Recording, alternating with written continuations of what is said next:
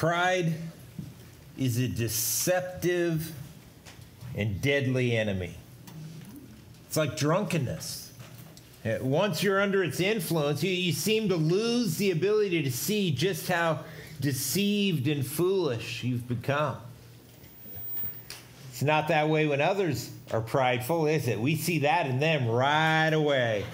It's easy to spot. They, they look like idiots, don't they? Aren't you glad that when you're prideful, you don't look that bad?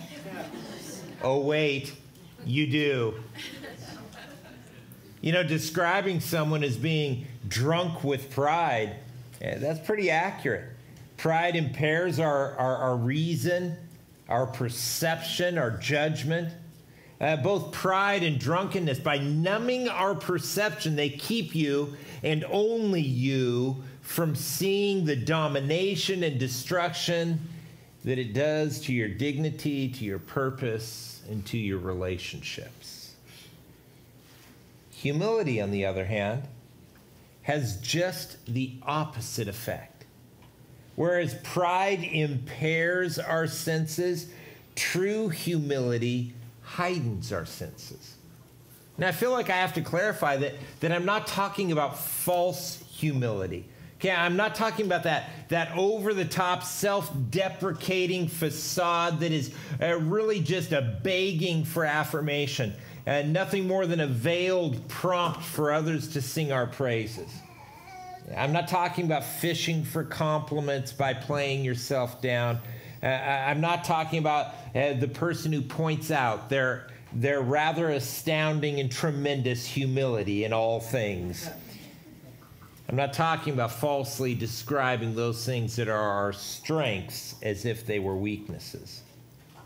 No, real humility doesn't focus on self, but rather it is forgetful of self.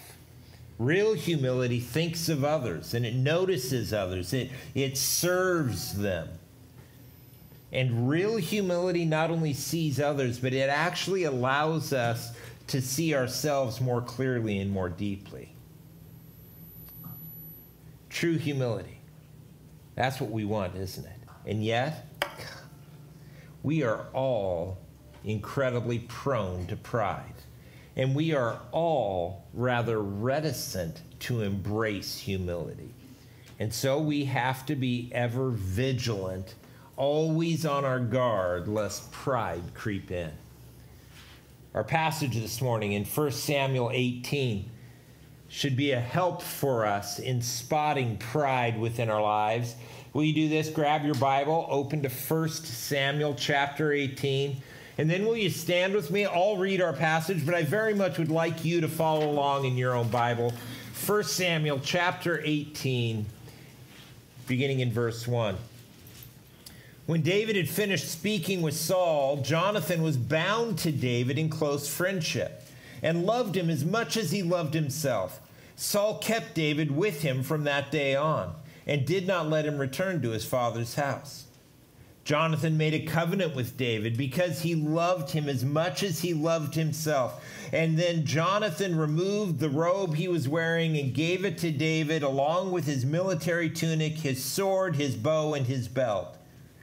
David marched out with the army and was successful in everything Saul sent him to do. Saul put him in command of the fighting men, which pleased all the people and Saul's servants as well as the troops were coming back. When David was returning from killing the Philistines, uh, the women came out from all the cities of Israel to meet King Saul, singing and dancing with tambourines, with shouts of joy and three stringed instruments. As they danced, the women sang, Saul has killed his thousands, but David his tens of thousands. Saul was furious and resented this song. They credited tens of thousands to David, he complained, but they only credited me with thousands. What more can he have but the kingdom? So Saul watched David jealously from that day forward. The next day, an evil spirit sent from God came powerfully on Saul, and he began to rave inside the palace. And David was playing the lyre as usual, but Saul was holding a spear, and he threw it, thinking, I'll pin David to the wall. But David got away from him twice. Saul was afraid of David because the Lord was with David, but had left Saul. Therefore, Saul sent David away from him and made him commander over a thousand men. David led the troops and continued to be successful in all his activities because the Lord was with him. When Saul observed that David was very successful, he dreaded him. But all Israel and Judah loved David because he was leading their troops. Saul told David, "Here's my oldest daughter Merab. I'll give you to her, I'll give her to you as a wife, if you will be a warrior for me and fight the Lord's battles." But Saul was thinking, "I don't need to raise a hand against him. Let the hand of the Philistines be against him." Then David responded, "Who am I? And what is my family or my father's clan in Israel that I should become the king's son-in-law?" When it was time to give Saul's daughter Merab to David, she was given to Adriel the Meholathite as a wife. Now, Saul's daughter Michal loved David, and when it was reported to Saul, it pleased him. I'll give her to him, Saul thought. She'll be a trap for him, and the hand of the Philistines will be against him. So Saul said to David a second time, You can now be my son in law. As uh, Saul then ordered his servants, Speak to David in private and tell him, Look, the king is pleased with you, and all his servants love you. Therefore, you should become the king's son in law. Saul's servants reported these words directly to David, but he replied, Is it a trivial thing in your sight to become the king's son in law? I am a poor commoner. The servants reported back to Saul, These are the words David spoke. Then Saul replied, say this to David The king desires no other bride price except a hundred Philistine foreskins to take revenge on his enemies. Actually, Saul intended to cause David's death at the hands of the Philistines. When the servants reported the terms to David, he was pleased to become the king's son in law. Before the wedding day arrived, David and his men went out and killed 200 Philistines. He brought their foreskins and presented them as a full payment to the king to become his son in law. Then Saul gave his daughter Michal to David as his wife. Saul realized that the Lord was with David and that his daughter Michal loved him, and he became even more afraid of David. As a result, Saul was David's enemy from then on. Every time the Philistine commanders came out to fight, David was more successful than all of Saul's officers, so his name became well known. Let's pray. Father, thank you for your word. Thank you that we get to come together here. And, Lord, we ask that in the midst of this time that you'd speak to our hearts, that your Holy Spirit would be our teacher. God, that you would give us a willingness to hear what it is that you're saying. And God, a willingness to submit ourselves to you. God, have your hand on this time. Work in the midst of it. We pray it all in Jesus' name. Amen. You can be seated. You know, in some ways, this passage is not at all what you would expect after reading chapter 17. I mean, think about this. Go back to chapter 17. It was there that King Saul, having been humiliated uh, because a mere shepherd boy had taken over leadership of the Israelite army by defeating the Philistine warrior Goliath, whom, da- whom Saul had been too terrified to face. Uh, you would think that at this point, Saul would be eating humble pie. And David, on the other hand, David, who had spent most of his life in the anonymity of shepherding, was suddenly elevated to hero status throughout all of Israel. Uh, his defeat of the giant Goliath made him famous. And having never led anything more than a few sheep, he suddenly finds himself in the leadership of Israel's army. And yet, and yet, it is Saul who we see here in chapter 18 being consumed by pride, and it is young David that we see embracing humility. It just goes to show you the pride does not really require any excellence. You don't have to do something to be proud of to be given over to pride. It doesn't come from your circumstances, it comes from your heart. Well, let's get started. Verse 1 Jonathan was bound to David in close friendship, loved him as much as he loved himself. Saul kept David with him from that day on. Jonathan made a covenant, in other words, a promise to God in regards to David because he loved him as much as himself. And Jonathan removed the robe he was wearing, gave it to David, along with his military tunic, his sword, his bow, and his belt. Now, let me briefly address something here. Uh, at times, uh, the loyal and selfless friendship between David and Jonathan has been portrayed as being something that it very clearly is not. Uh, some people, I believe, wanting to justify either their own participation in or their support of the sin of homosexuality, have sought to portray the friendship between David and Jonathan as being a, a homosexual relationship. Now, for three reasons, uh, this conjecture that is both preposterous and offensive. It is too often entertained as being a possibility. There are three reasons why I think people uh, mistakenly see this here. Uh, the first is this far too few people clearly understand the absolute clarity with which the scriptures define both right and healthy sexuality, as well as the clarity with which Scripture condemns all other sexual practices. Uh, both the Old Testament and the New Testament define right and healthy sexuality. Uh, just listen to Jesus as he quotes from Genesis uh, in Matthew chapter 19, there in verses 4 through 6. There, Jesus says, Haven't you read that he who created them in the beginning made them male and female? Guess what? I, I notice this, please. Gender is God made, not man chosen. And Jesus said, For this reason, a man, one man, will leave his father and mother and be joined to his wife, and the two, one man and one woman, will become one flesh. So they are no longer two, but one flesh. And therefore, what God has joined together, this is not just the decision of man, but this is an act of God. This is something that God has done. What God has joined together, let no one separate. That, my friends, is healthy and right sexuality. God's rather obvious design is that one man and one woman will become one within the covenant of marriage for life. Anything outside of that is against God's design, including the whole alphabet of expressions of broken sexuality that is being thrust upon us by our culture. Scripture is clear.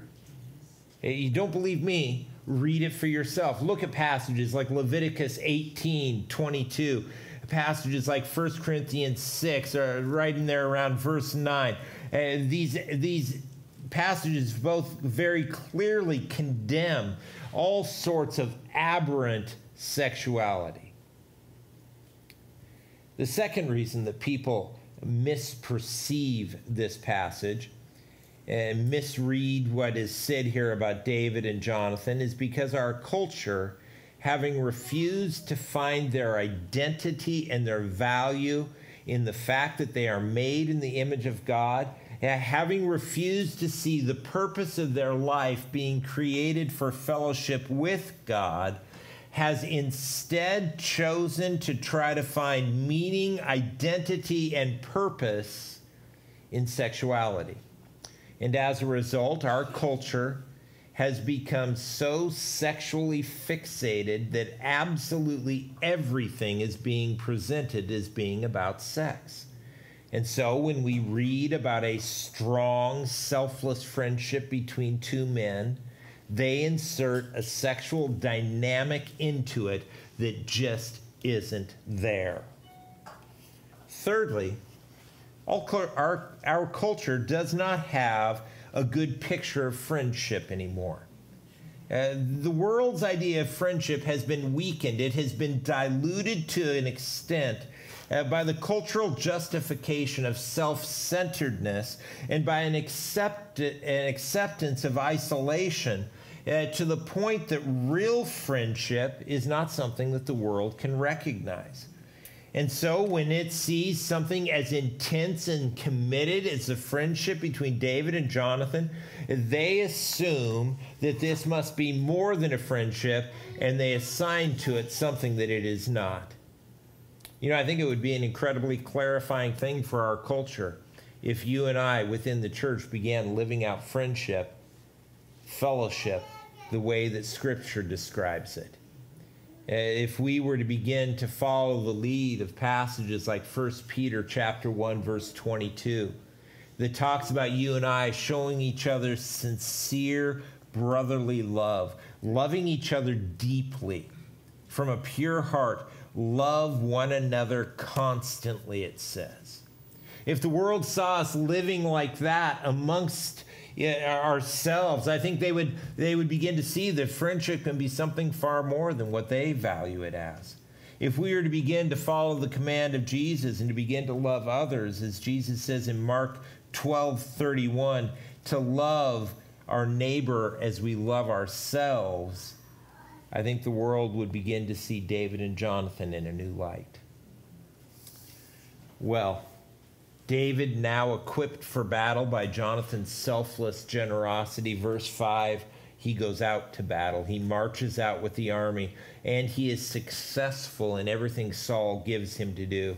And so, because of that, Saul put him in command of the fighting men, uh, which pleased all the people and Saul's servants as well.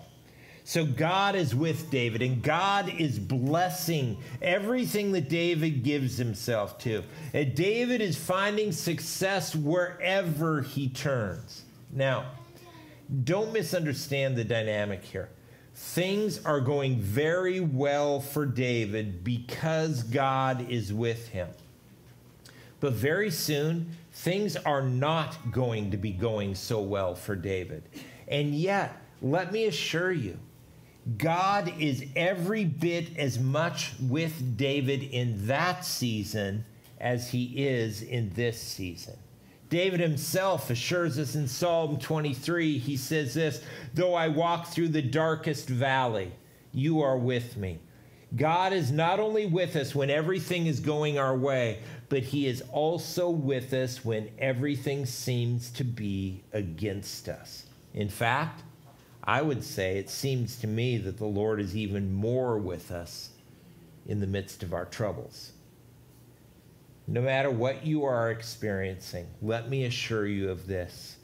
If you belong to Him, if you have given yourself to Christ, if you have surrendered yourself to the Lord Jesus, then you can know this for sure.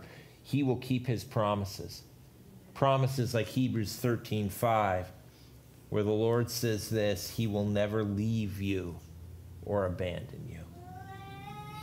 Well, uh, the thrill of success is about to turn into peril for David, and he becomes the literal target of Saul's jealous pride. Uh, so, verse 6 when David was returning from killing the Philistine, the women came out to meet King Saul, singing, Saul has killed his thousands, but David his tens of thousands. This was not a tune that Saul particularly cared for. In fact, he was furious and resented the song. Why? Because they credited tens of thousands to David and only thousands to him. And so Saul concludes, What more can he have than the kingdom? I mean, they might as well crown him king right now. And so it says, Saul watched David jealously from that day forward. King Saul, fresh off the humiliation of being too afraid to face Goliath and having been exposed by the bravery of young David. Here he seems to be, well, a bit sensitive. Uh, he seems to be overreacting a bit to the women's song. And the ladies most likely meant nothing by it. They were just simply celebrating two of Israel's greatest heroes. But that was the problem. Saul wanted to be the only great hero of Israel. You see, because of pride, Saul felt that he must be preeminent. He could not be surpassed in any way by anyone at any time uh, without feeling that they were beginning to seek to usurp him. That's what pride is like. Pride cannot endure anyone else being recognized or applauded even for doing things that are generally and truly beneficial. Uh, you see, the issue isn't whether or not something is worthy of praise, the issue is who receives the praise. And pride selfishly craves praise. It diminishes what others have done, it highlights what self has done, attributes others' success to mere luck, unfair advantage, or cheating, and attributes its own success to its awesome greatness. And pride, well, pride never travels alone, at least not for long. It is almost always accompanied by jealousy or envy.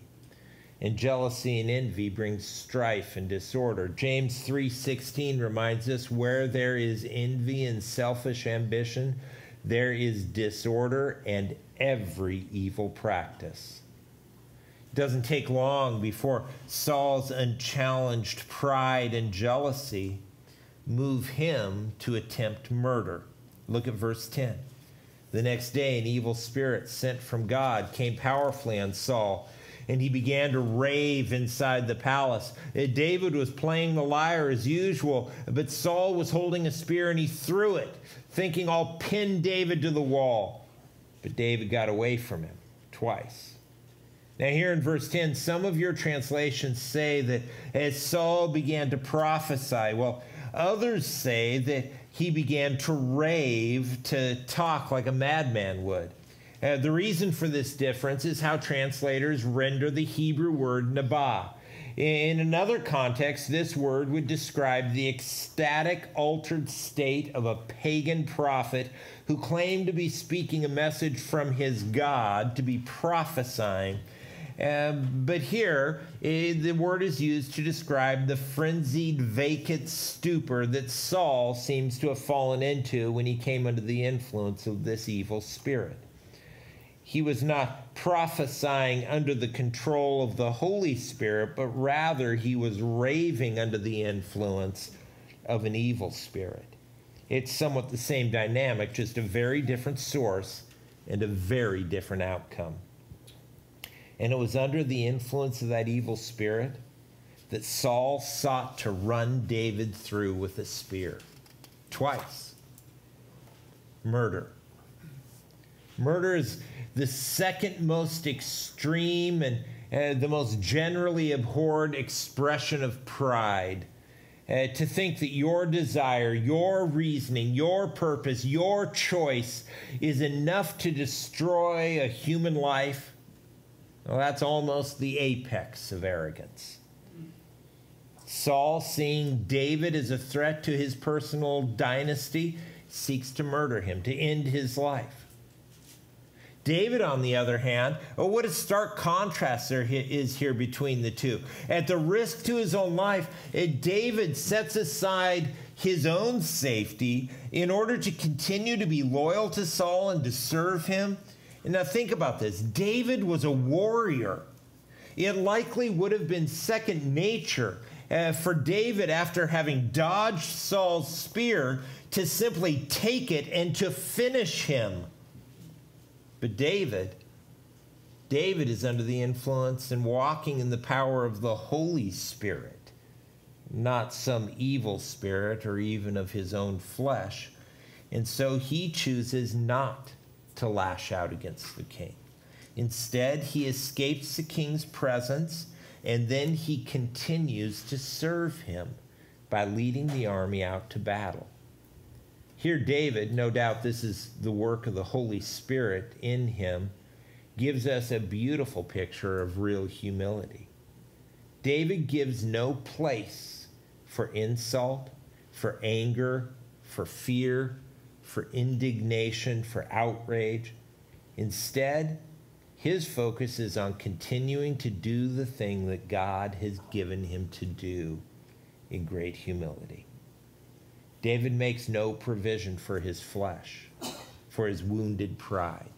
He gives no foothold to sin, which, by the way, friends, that is exactly what the Apostle Paul tells us that we're to do. Romans chapter 13, there in verse 14, Paul says this put on the Lord Jesus Christ. In other words, put on the, the behaviors and the thought and the actions of Christ like you would put on a cloak, and make no provision for the flesh to gratify its desires. What Paul is saying is that you and I, we are to live our lives in such a way uh, that, that it is no longer about us. It is no longer us doing our thing for our purposes, for our benefit, but rather the living out of our life is as if we have put on Christ like a cloak, and he is now living through us. In this moment, for David, it's not about him, it's about the Lord. It's about what the Lord desires, not what David wants to do. It's not about how David wants to respond. It's about David being faithful to do the thing that God has called him to do. On a side note, I want you to think back a few weeks for a moment and to remember what we considered back in chapter 16. It was there that because of Saul's uh, insistent rebellion against God, uh, that this evil spirit began to torment him. And there, Saul's solution to this problem is that he would continue to refuse to repent of his rebellion, and instead, he would choose to find a musician, uh, not that would drive away the evil spirit, but that would help him feel better in the midst of it all. You know, at first it seemed to be working. But now, at least from David's perspective, not so much. Uh, take a note of this. Masking symptoms never cures the disease. And I'm not talking about physical illness here, I'm talking about the spiritual. If our focus is on feeling good while we ignore the cause of the issue, while we refuse to repent, it will only lead eventually to things getting worse. In case you're wondering, turning to Jesus, surrendering yourself fully to Him, putting yourself into submission to Him, drawing close to Him, that is and always is the ultimate solution. Look at verse 12. Even though it was Saul who had tried to shish kebab David, Look at what we read there. Saul was afraid of David. Saul's afraid of him. Saul was the one trying to do the killing, and yet Saul's afraid of David. Why? Well, look at what it says because the Lord was with David, but he had left Saul.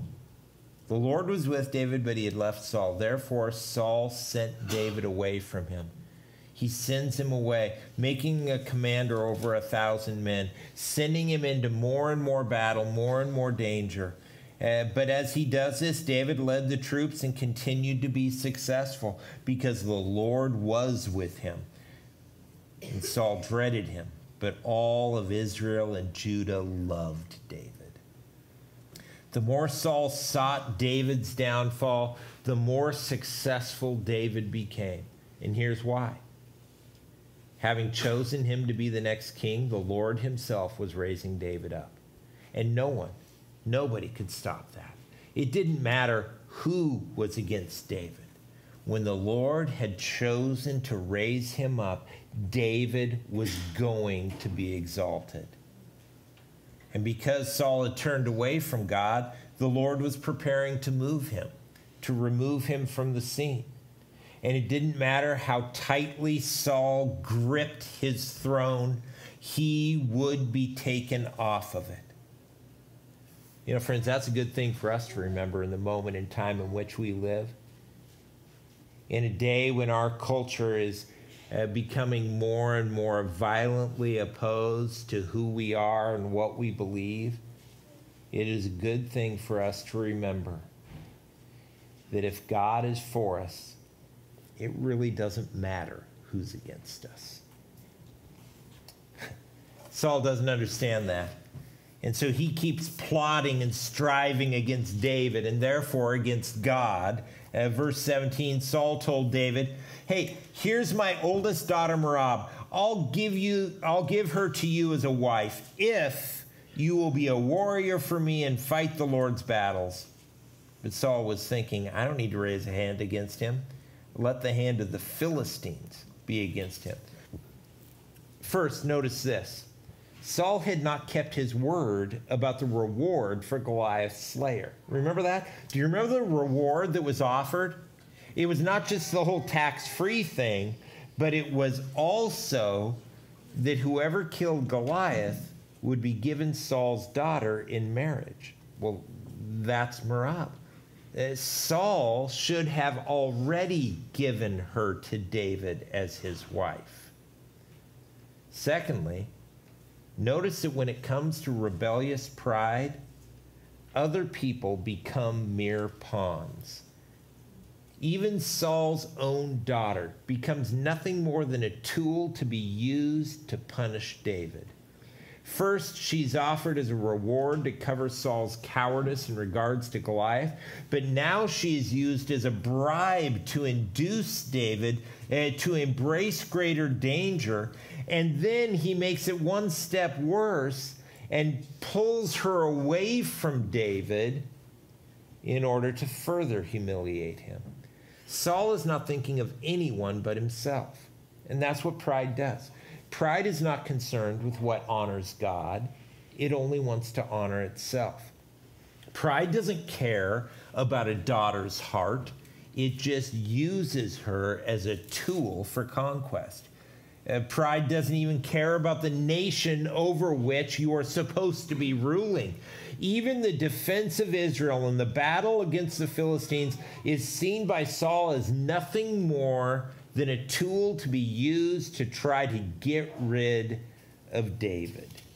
And so we're not surprised. We see in verse 18, even though David responds in humility, uh, saying, Who am I that I should be become the king's son in law? And, and, think about that for a minute. And think about this. Who is David? Uh, what, what a humble statement for him to make in the midst of this context. Because who is he? Well, he is now nationally famous. Remember that. All of Israel, it says, loved him. In fact, Saul's own staff loved him, which had to irritate the heck out of Saul. Saul's son and his heir, Jonathan, loved David. All over Israel, they are singing and dancing about David. Who was he? Well, he was the great slayer of Goliath. He was the leader of Israel's army. He was the future king. And yet, in humility, David says, But who am I? Who am I to become the, the king's son in law?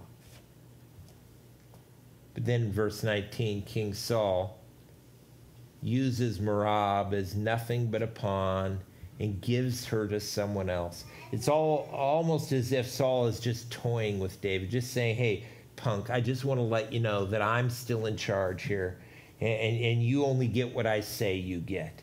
And that's how it goes because I'm king. And then verse 20, we see that Saul's daughter Michal loved David. And when it was reported to Saul, it pleased him. I'll give her to him, Saul thought. She'll be a trap for him. What a sweet thing for a father to say about his daughter. and the hand of the Philistines will be against him. So Saul arrogantly throws his second daughter at David. Again, he's only doing it because it is a part of his plan to do away with David. Saul thought that Michal would be a trap, but it doesn't tell us how it is. I think there are several things that Saul could have been thinking of. Uh, maybe it was a strange dowry that Saul intended to request. We'll read about that in verse 25. Uh, maybe it was that Saul knew that Michal didn't really love the Lord and that she would become a stumbling block to David. Uh, later on, we'll find out that, uh, that Michal has idols that she worships, and she even discourages David from wholeheartedly worshiping the Lord at one point. In one way or another, Saul sees her to be a trap for David, and so he offers her in Merab's place. But Saul knows there's a problem. David's humility is going to be a barrier that will have to be overcome. And so in verse 22, Saul orders his servants, tell David to marry her. Tell him, listen, dude, the king likes you. Everyone likes you. You, you should do this. And they did so. But David replied, Is it trivial in your sight to uh, become the king's son in law? Do you not understand that I am a poor commoner? Uh, what David is saying is listen, I cannot afford to be married to a princess. I cannot afford a princess's dowry. That's the, the bride price that would be paid to the father of the bride by the groom. Now, when this is reported to Saul in verses 24 and 25, he springs his trap. And Saul replied, Say this to David The king desires no other bride price except a hundred Philistine foreskins. Yuck. In order to take revenge upon his enemies. You see, Saul, Saul's whole purpose was to get David killed. Look at verse 25. Saul intended to cause David's death at the hand of the Philistines. Now, think about that for a minute. Saul knew that his daughter Michal loved David, and yet he was willing to make her marriage to him become the cause of his death. Well, just as Saul had hoped, at verse 26, David rather liked the idea. I don't know what David was thinking, but that's what it says. And so, before the wedding day arrived, David and his groomsmen made a little foray into Philistine territory, and they somehow uh, got the uh, foreskins of 200 Philistines. I'm thinking they didn't give them up willingly. They probably gave them up only after they were dead. And so he brought this pile of foreskins and presented them as a full payment to the king. I, I pity the guy whose job was to count them. We're still one short. and then Saul gave his daughter Michal to David as his wife. I don't, I don't even want to think of what this looked like. I kind of wonder if David did this just so he could dump that mess right in front of Saul's tent. Probably not. David seems to be walking in the Spirit. I think likely, I think likely that David loved Michal,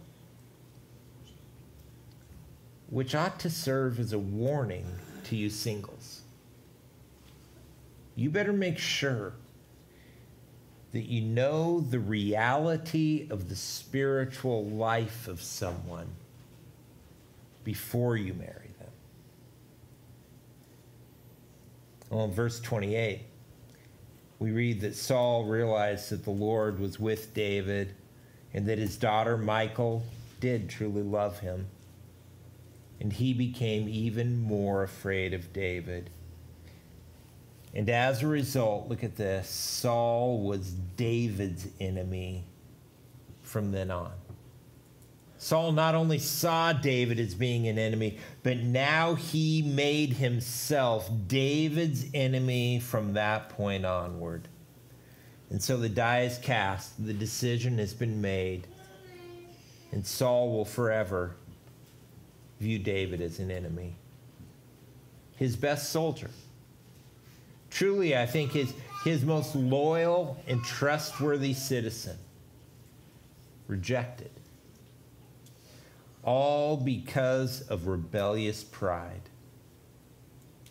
All because of pride's lust to have and to keep power at all cost. Be careful, friends. Beware of pride. Listen to Scripture's warnings again and again against it. Consider the Proverbs. Proverbs 11:2 says when arrogance comes disgrace follows but with humility comes wisdom. Again, Proverbs 29:23 a person's pride will humble him but a humble spirit will gain honor. And of course, the one we're all used to hearing Proverbs 16:18 pride comes before destruction and an arrogant spirit before a fall. The short version reject pride. Reject pride. Choose and embrace humility. Be on your guard. I mentioned earlier that the second greatest expression of arrogance was murder. Did it make you wonder what the first one might be? I would say that the ultimate expression of pride and arrogance is refusing God's mercy. It's refusing his sacrifice in your place.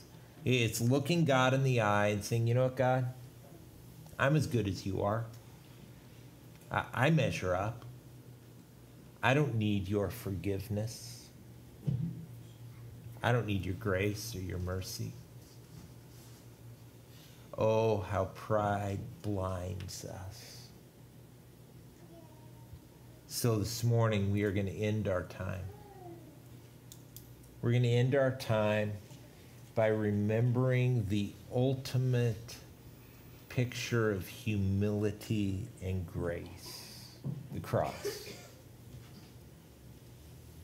We're going to end our time by sharing together in what we call the Lord's table or communion. And what it is really is, is a time that Jesus gave to his disciples, something that he told them that he wanted them to do in order to remember his death until he came again. Why would he want them to do that? Because it was by his death in our place that he purchased our forgiveness. Jesus had gathered with his closest disciples, and together they were celebrating the Passover dinner. When during the, the midst of the dinner, Jesus took bread and it says that he gave thanks for it, he broke it, and he gave it to his disciples, and he said something rather odd to them. He said, Take this, eat it. This is my body given for you. I have to think they had no clue what he was talking about. They probably pretended they did. Uh, but I think they, they likely were rather confused by all of it.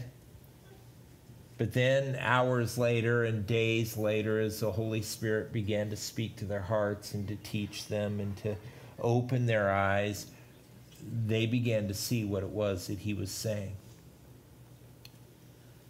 That his body was offered as sacrifice in payment for our sin. His body on the cross was given over to bear the load of my guilt and shame yours as well. A little later, after supper that same evening, Jesus took the cup and he gave it to his disciples and he said, Take and drink this. This is my blood, which is poured out for the forgiveness of your sin. And again, I, I doubt eh, at that time that they really understood what he was talking about. But after the crucifixion and his resurrection and his ascension, after the outpouring of the Holy Spirit and as God began to warm their hearts and open their minds, I think they got it. Oh, It was his blood, his life poured out, paying the price for my sin and washing me clean. It's the grace of God. It's forgiveness offered to all who are willing to embrace the humility of acknowledging their need, to set aside pride, to shut down the arrogance of thinking that we are good enough, that we measure up, and to instead receive the free gift of forgiveness that is offered to us because of the Savior's death in our place. And so Jesus told his disciples, I want you to do this in remembrance of me. Do this to remember my death until I come. So that's that's why we do what we do. And so this morning I invite you, if you belong to Jesus, if you have surrendered yourself to him, if you have simply admitted your guilt to him, your need for his forgiveness, and you have received that forgiveness from him, then this is for you.